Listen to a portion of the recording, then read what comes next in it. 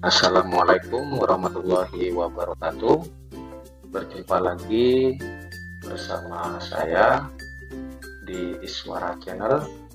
Kali ini saya akan membagikan tutorial mengatur posisi tanda tangan untuk tiga orang atau lebih. Suatu misal mengetahui kepala sekolah nama NIP nah biasanya seperti ini.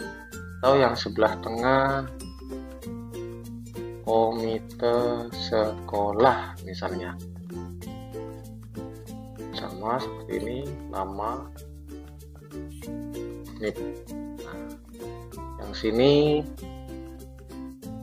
nama tempat misalnya sukacita 4 November 2023 bendahara. Nama. NIP nah untuk mudahnya biasanya seperti ini. Setelah dibuat kolom dibagi menjadi tiga bagian yang sama biasanya langsung dibuat rata tengah. Dan terakhir eh, bordernya dihilangkan jadinya seperti ini.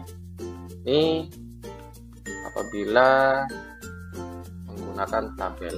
Nah di sini saya akan menggunakan kembali yang namanya fungsi tab. Di video yang sebelumnya saya menjelaskan dengan left tab sekarang saya akan menggunakan center tab. Dengan nama yang sama mengetahui kita tap satu kali. Sukacita 4 November 2023 kita enter satu kali. Kepala sekolah kita tap satu kali atau kita tap satu kali. Komite sekolah kita tap satu kali lagi. Bendahara karena ini ada tiga ya. Enter enter enter diberi jarak.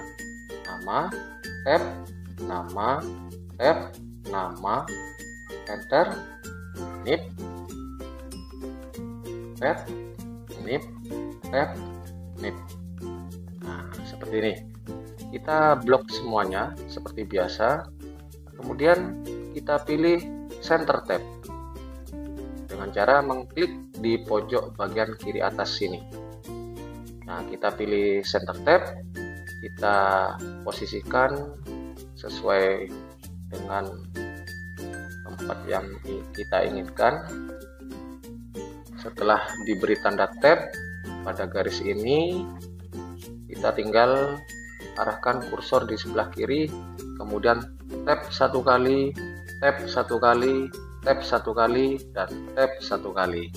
Maka hasilnya menjadi seperti ini tanpa menggunakan tabel